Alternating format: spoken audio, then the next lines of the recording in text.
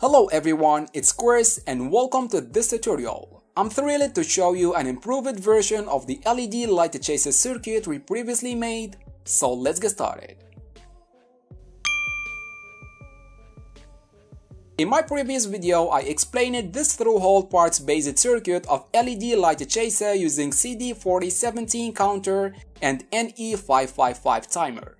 Today we will produce the same circuit but with a more compact size using surface mount device. No changings for the Altium schematic that we prepared last time, except for the parts packages that should be SMD packages. As always, you could grab the surface mount parts from Octopart by searching for the parts CAD files using the parts references. As for the PCB, I arranged the LEDs in a circular form and the whole PCB shape is circular. I placed the power connection and the power slide switch at the edge of the PCB and the LED chase speed controller to the center of the board and here is a 3D view of my designed circuit.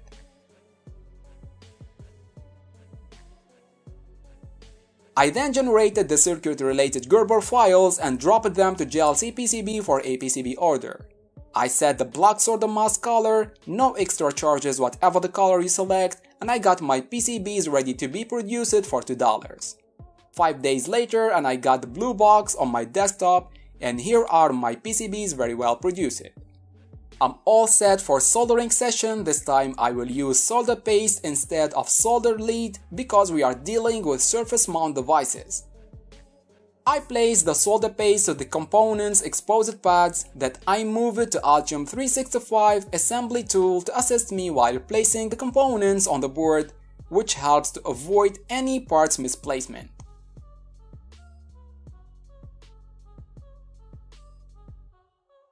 After getting the parts well placed, we need to reflow them using a hot air gun or using a hot plate. I found my mini hot plate suitable for the size of the board so I used it. You can find in the description of this video all the links referring to the tools that I'm using. After getting the parts soldered, it's important to clean it with some flux removal solvent. Then here is my circuit ready to take the 9 volt power. I turned on the slide switch and the LED light starts scrolling. The scrolling speed could be controlled through this potentiometer in the center. That's it for today guys, I hope you enjoyed this circuit that you could try at home.